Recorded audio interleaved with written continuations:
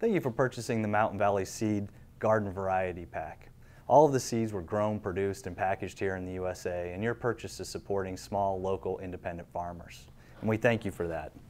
You'll see when you get this product home that these seeds will grow anywhere in the nation. They've all been selected for varieties that will do well anywhere in the U.S.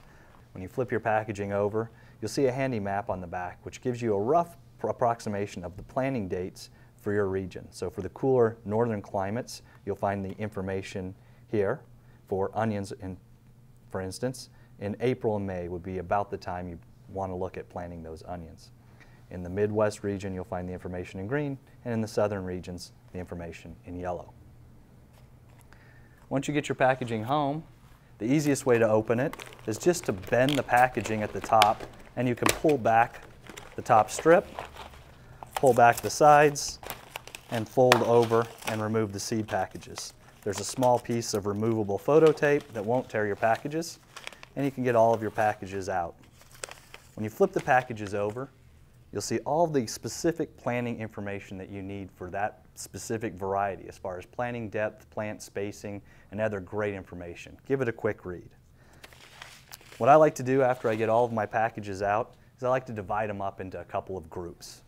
The first group is those that I'm going to start indoors that need just a little bit extra time and that we're going to start before the ground's really ready outside. In this case, that's the tomatoes and the peppers.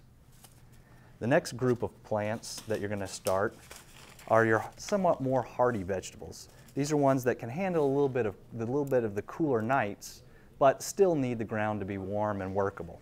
That's your peas, kale, and onions. Some people like to start their herbs indoors with these vegetables.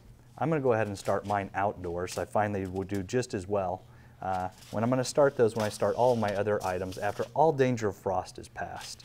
So I'm going to plant my basil, my cilantro, my cucumbers, my chard, carrots, squash, lettuce, and beets directly in the ground after all danger of frost is past. And again, you can refer to your Farmer's Almanac for all kinds of great planting information and times or just research uh, with your local county extension for your specific area to find the best planting times for you.